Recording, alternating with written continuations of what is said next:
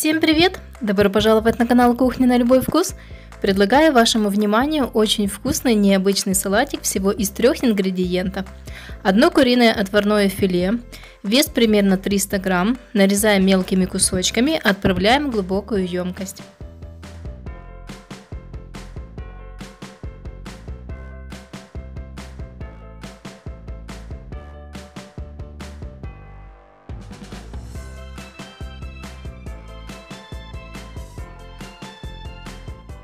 150 грамм винограда без косточек,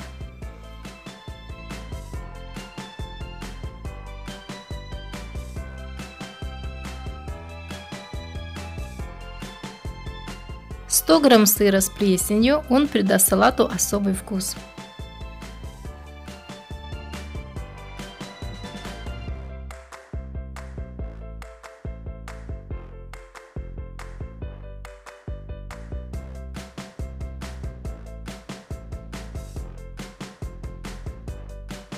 Заправляем лимонным соком и оливковым маслом. По желанию можно добавить листья салата или руколу, это придаст салату объем. Все хорошо перемешиваем и наслаждаемся вкусом. Ставьте лайк этому видео, если вам понравился рецепт.